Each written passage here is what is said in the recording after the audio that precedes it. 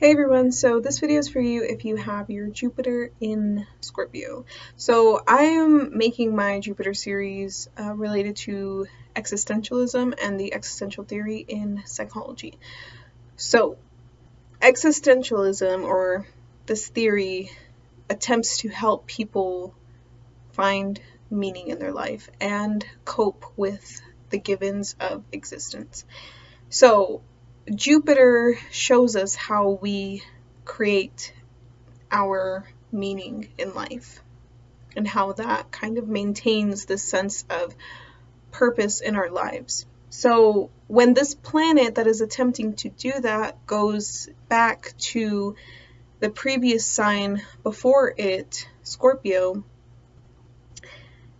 it's kind of in the place where it has to actually confront the givens of existence first before it can establish that meaning. So this is an interesting placement because with Jupiter and Scorpio, Jupiter expands something in our chart that makes it really hard to ignore, right?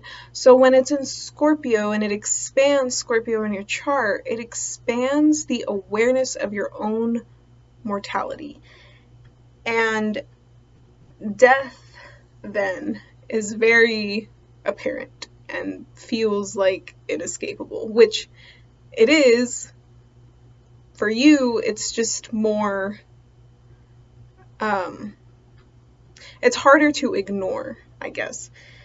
So it expands life's inevitabilities, basically, is what it is.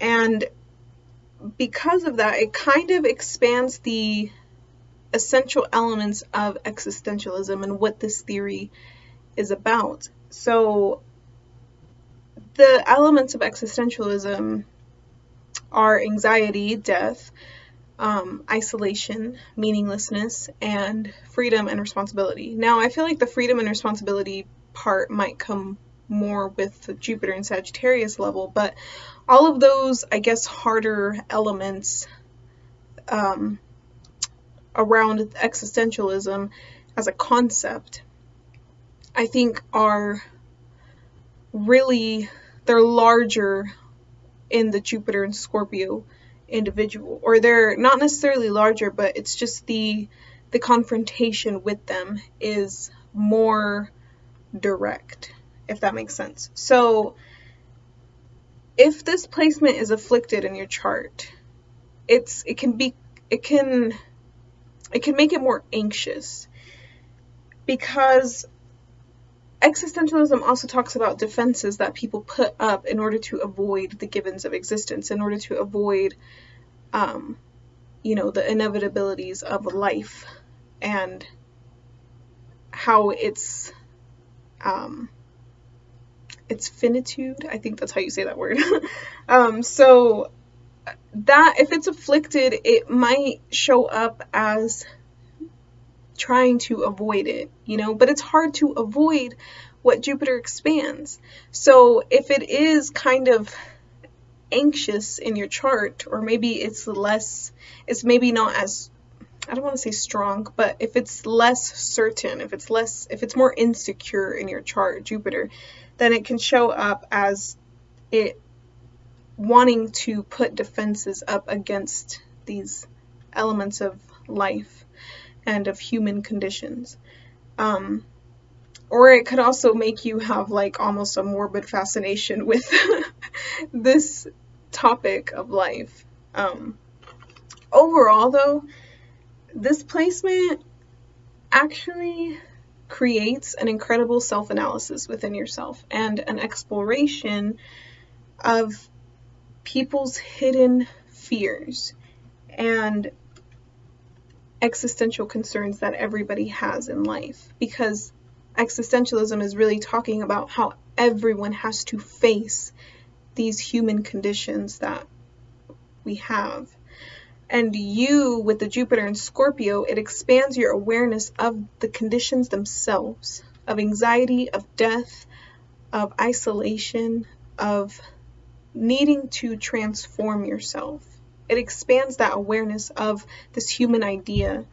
So, through that, you can actually develop a deeper understanding of the purpose of existence and its endings and what it means when things end, when things die, what it means to transform. And it's not, again, it's not at the sage level where you're already in the place where you've mastered the confrontation and now you're developing a meaning, a sense of meaning to life because you've already done that. It's more understanding the spiritual process of death and of transformation and understanding it as a state and a process physically and spiritually and understanding the natural cycles, inevitable cycles of life, that exploration and that self analysis that you do with yourself and with others and with life in general, that is where you'll find your meaning through that inner search. so hope you hope you like this video and yeah, thanks for watching.